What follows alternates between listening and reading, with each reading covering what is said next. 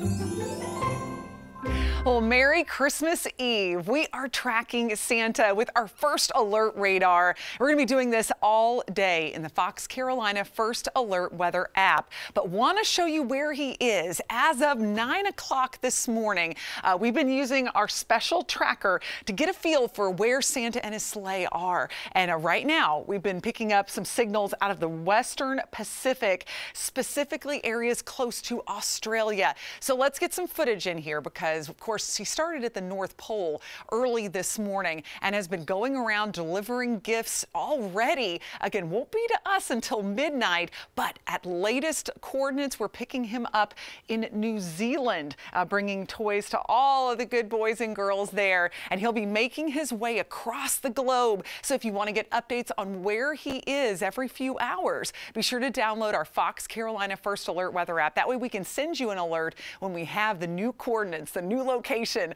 on St. Nick. Something great we can you can do as a family today. And I hope you have a very Merry Christmas.